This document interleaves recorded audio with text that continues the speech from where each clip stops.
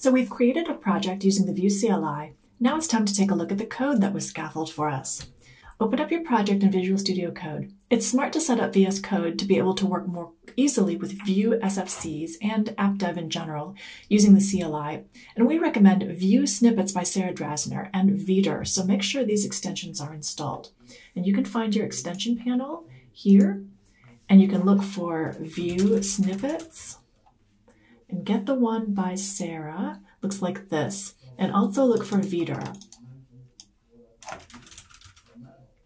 which is by Pine Wu, and that's Vue tooling for VS Code. So make sure that's installed as well.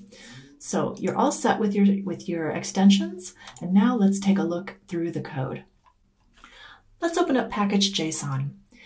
Note that the CLI is a dependency, and you have um, some scripts here. You can serve your application using serve and you can build it using build. So you are all ready to start application development. So let's open up main.js, which is in source folder, and it's right here in main.js. And this is a Vue 3 application, so you'll notice that we import create app from Vue, and then we uh, leverage that right here and create app, and we mount the app in the div app.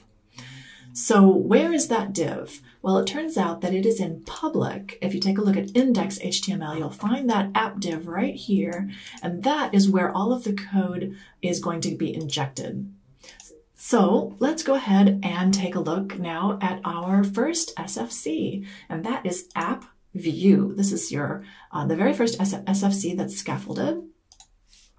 And you can see the three blocks here. There's template, script, and styles, a very typical SFC.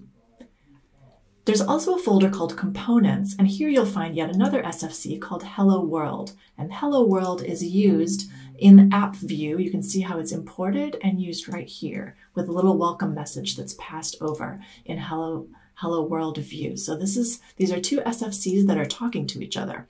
Now, if we would go ahead and run this app, let's see what happens. I'm going to open up a new terminal and I'm going to go ahead and type npm run serve. And it's going to go ahead and use the Vue CLI to serve my application. And that was pretty quick. It's going to run on localhost 8080. So let me open up that. And you can see that it opened up in my Edge browser on localhost in port 8080.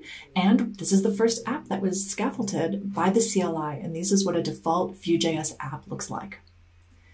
So what we're going to do in the next couple videos is we're going to build up this app as a travel app. And um, we're going to talk a little bit about props and events and how it all works together to make a nice app built with Vue components. So stay tuned.